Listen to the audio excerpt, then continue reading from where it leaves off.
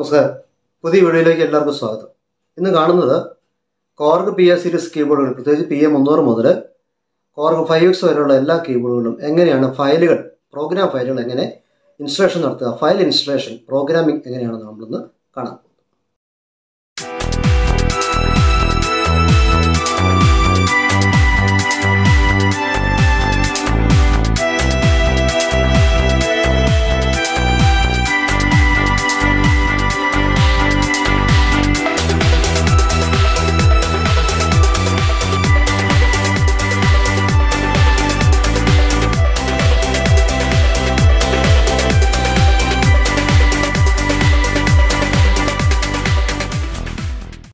നമ്മുടെ ചാനലിനെ കുറിച്ചൊന്ന് പറഞ്ഞോട്ടെ? ആദ്യമായിട്ട് കാണുന്നവർ ഇത് കോർഗ് പി എസ് സീരീസ് കീബോർഡുകളുടെ ഫംഗ്ഷൻസ് കോർഗ് അറേഞ്ചർ കീബോർഡുകളുടെ ഫംഗ്ഷൻസ് മലയാളത്തിൽ നമ്മൾ വിശദമാക്കുന്ന ഒരു പ്രോഗ്രാമാണ് Korg P A series keyboard ഉപയോഗിക്കുന്ന എല്ലാവർക്കും പി എ ഫിഫ്റ്റി മുതൽ പി എ ഫൈവ് എക്സ് വരെ അത്തരത്തിലുള്ള കീബോർഡ് ഉപയോഗിക്കുന്ന ഏവർക്കും വളരെ പ്രയോജനം ചെയ്യുന്ന ഉപകാരപ്രദമായ ആ വീഡിയോസാണ് നമ്മളിവിടെ ആ ട്യൂട്ടോറിയലുകളാണ് ഇവിടെ കൊടുത്തുകൊണ്ടിരിക്കുന്നത്.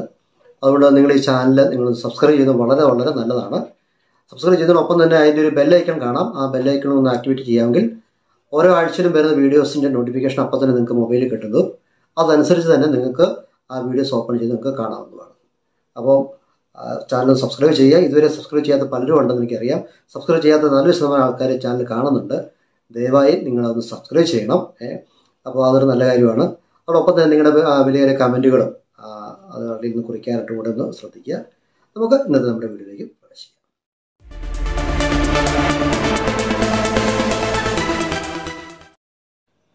കോർഗ് പി എസ് സീരീസ് കീബോർഡുകളിലെ കീ ഫയൽ ലോഡിങ് അല്ലെങ്കിൽ ഫയൽ ഇൻസ്റ്റലേഷൻ ആ പ്രോസസ്സ് നമ്മൾ ചെയ്യുന്നത് മീഡിയ സെക്ഷനിലാണ് മീഡിയ സെക്ഷൻ ലോഡ് എന്ന ടൈറ്റിലാണ് നമ്മൾ ഇത് കീബോർഡിലേക്ക് ഫയലുകൾ നമ്മൾ ഡയറക്റ്റായിട്ട് ഇൻസ്റ്റാൾ ചെയ്യുന്നതും അതോടൊപ്പം തന്നെ വിവിധങ്ങളായ ഫയൽ കീബോർഡ് ഫയലുകളൊക്കെ ഓപ്പൺ ചെയ്ത് കാണുന്നതൊക്കെ നമ്മൾ ലോഡ് എന്ന ആ ഒരു ടൈറ്റിലാണ് ഇതിനെക്കുറിച്ച് കഴിഞ്ഞ തൊട്ട് കഴിഞ്ഞ ആഴ്ച നമ്മളൊരു ഒരു വീഡിയോ ചെയ്തിരുന്നു. ചെറിയ ചെറിയ ഇതിന്റെ ആ മീഡിയ ഫങ്ഷൻസിനെ കുറിച്ച് നമ്മൾ വ്യക്തമാകുമ്പോൾ അവിടെ ലോഡ് നമ്മൾ അതിനെക്കുറിച്ച് സംസാരിക്കുന്നുണ്ട്. ഇവിടെ നമ്മൾ ലോഡ് എന്ന ഓപ്ഷൻ നമ്മൾ ഇവിടെ വിസോഡ് കാണുകയാണ്. ലോഡ് എന്ന ടൈറ്റിലാണ് നമ്മൾ കീബോർഡിലേക്ക് ഫയലുകൾ നമ്മൾ ഇൻസ്റ്റോൾ ചെയ്യുന്നത്. അപ്പോൾ ഇത് പി എ എഴുന്നൂറ് വിഭാഗത്തിൽപ്പെട്ട ഒരു കീബോർഡാണ് പി എ ഡെമോ ആയിട്ട് കാണിക്കുന്നത്. ഇതിൽ നമുക്ക് പി എ അറുന്നൂറ് പി എ തൊള്ളായിരം അതുപോലെ തന്നെ P A fifty P A മുന്നൂറ് ഇങ്ങനെ തുടങ്ങിയുള്ള വ്യത്യസ്തങ്ങളായ കീബോർഡുള്ള ഫയലുകൾ നമുക്ക് ഈ പി എ എഴുന്നൂറ് എന്ന് പറഞ്ഞ മോഡൽ നമുക്ക് സപ്പോർട്ട് ചെയ്യാൻ സാധിക്കും. അപ്പോൾ ഇവിടെ നമുക്ക് ഫയലുകൾ നമുക്ക് പി എ എഴുന്നൂറിന്റെ ഫയലുകളാണെങ്കിൽ അല്ലെ പി എ എഴുന്നൂറ് എന്ന മോഡലിൽ ആ സെയിം ഫയലുകളാണെങ്കിൽ നമുക്ക് ഒറ്റ ക്ലിക്കിൽ തന്നെ നമുക്ക് കീബോർഡിലേക്ക് ഇൻസ്റ്റാൾ ചെയ്യാൻ സാധിക്കും. നേരെ മറിച്ച് പി എ അറുന്നൂറ് അല്ലെ പി എ തൊള്ളായിരം ഇതിൽ നിന്ന് വ്യത്യസ്തമായ ഇതിന് തൊട്ട് താഴെയുള്ള മോഡലുകൾ അതായത് പി എ തൊള്ളായിരം ഓൾഡ് വേർഷനാണ് പി എ അറുന്നൂറ് പി എ മുന്നൂറ് പി എ ഫിഫ്റ്റി ഒക്കെ ആണെങ്കിൽ നമുക്ക് അത് ഒന്നിച്ച് നമുക്ക് അതിനകത്തോട്ട് നമുക്ക് കീബോർഡിലേക്ക് ഇൻസ്റ്റാൾ ചെയ്യാൻ സാധിക്കില്ല അതിന് പകരം നമ്മൾ ചെയ്യേണ്ടത് ആ ഉദ്ദേശിക്കുന്ന ഫയൽ ആ പി സി അല്ലെങ്കിൽ ആ പ്രോഗ്രാം സെറ്റ് ഇപ്പോൾ പി അറുന്നൂറ് പ്രോഗ്രാം സെറ്റാണ്. ഞാനൊന്ന് സാമ്പിളായിട്ട് കാണിക്കുകയാണ്. അത് നമ്മൾ ഇവിടെ നമ്മൾ നേരിട്ട് നമുക്ക് ഓപ്പൺ ആക്കാൻ പറ്റത്തില്ല. അപ്പോൾ അങ്ങനെ വരും നമ്മൾ ചെയ്യേണ്ടത് എന്താണെന്ന് ചോദിച്ചു കഴിഞ്ഞാൽ നമ്മൾ ഇത് ആ ഫയൽ ഇൻഡിവിജ്വലായിട്ട് നമ്മളൊന്ന് ഓപ്പൺ ആക്കുന്നു. ഓപ്പൺ ആക്കി ഗ്ലോബൽ സെറ്റിങ്സ് നമുക്ക് ഇതിലേക്ക് കയറ്റാനായിട്ട് സാധിക്കുകയില്ല. അത് ഞാൻ കാണിച്ചു തരാം. നമ്മളിപ്പോൾ ലോഡ് കൊടുക്കുകയാണ്. ലോഡ് കൊടുത്തു. ലിമിറ്റിലേക്ക് പോയത് എന്താ ആറ് ഷോർ അടിച്ചു. യെസ് അപ്പോൾ this is not a P A file എന്ന് കാണിക്കും. എന്ന് പറഞ്ഞു കഴിഞ്ഞാൽ ആ ഫയൽ കീബോർഡിലേക്ക് നമുക്ക് ഈ മോഡൽ പി എ എഴുന്നൂറ് മോഡലിലേക്ക് അത് സ്യൂട്ട് ആവത്തില്ല.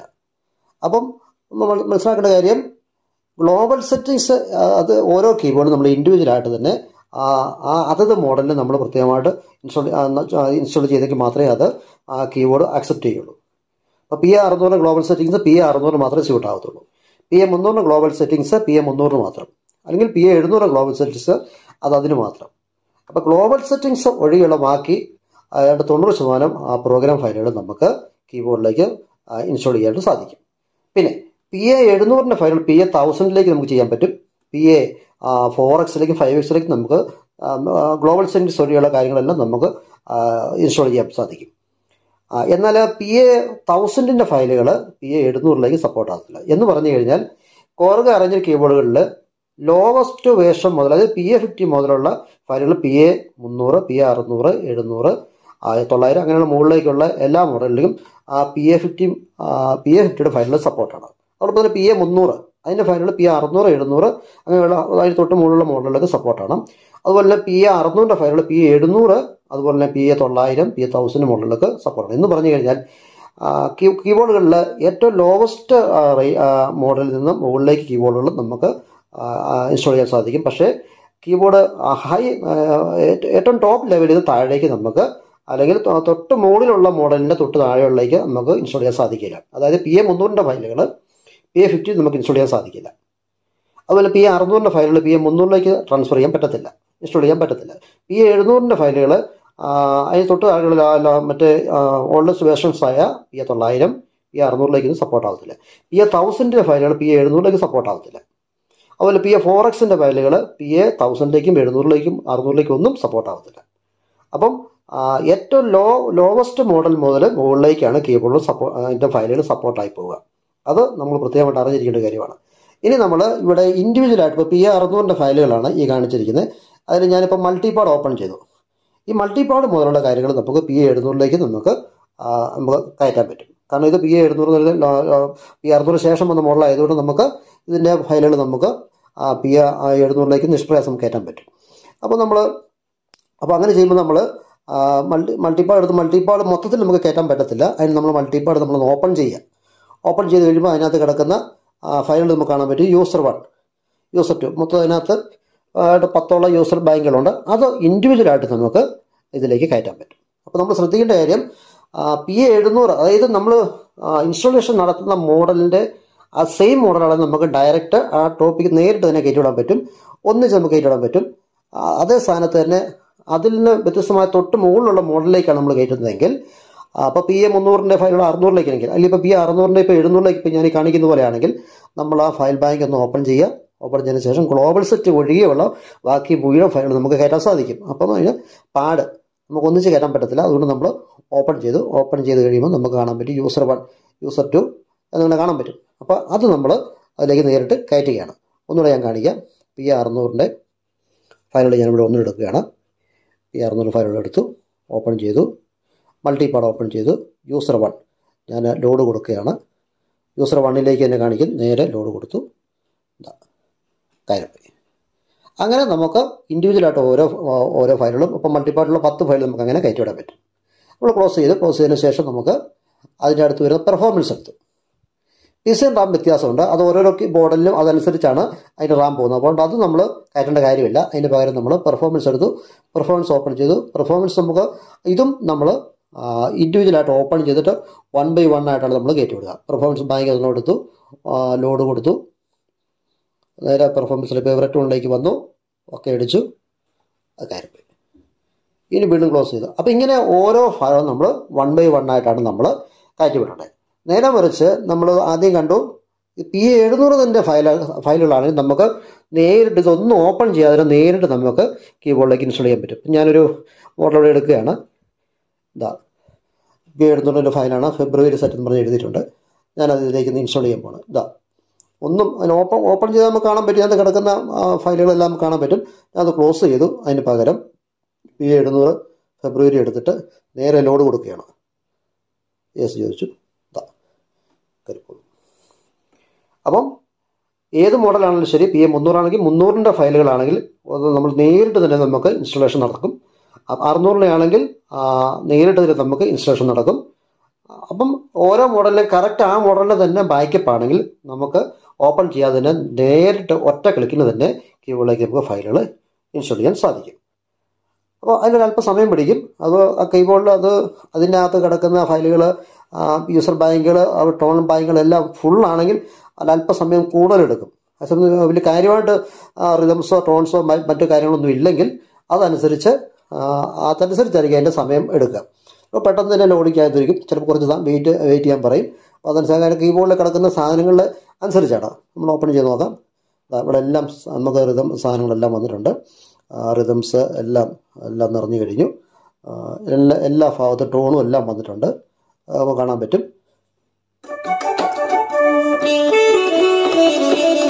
ടോണുകളെല്ലാം നിറഞ്ഞു കഴിഞ്ഞു.